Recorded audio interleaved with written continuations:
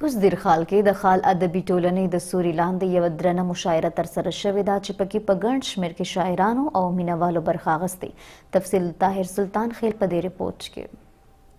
ویلی شي چې شاعر د معاشرې آینه دار وي او د شاعر په شعرونو کې د معاشرې تصویر ښکاره وي د شاعر احساسات جذبات د ده په شعرونو کې شامل وي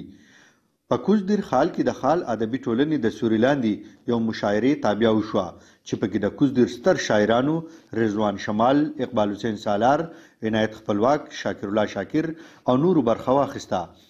شاعرانو په خپلو نظمونو او شعرونو کې د پښتون کلتور او دود دستور یاد کړو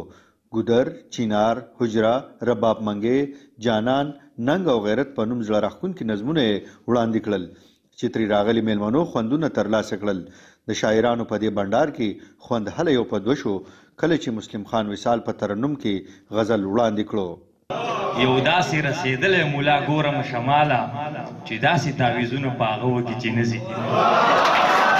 د شاعرانو د داسې ټولنو سره موږ ته د خپل دود دستور، کلی ولس، د حجرې ناسته پاسته په ښه ډول رامخ ته کېږي او نوی نسل هم د پښتون روایاتو نه په صحیح معنو خبر شي. د کېمره مېن احتشام الحق سره طاهر سلطان خېل، مشرق ټي وي، خال کوزدير.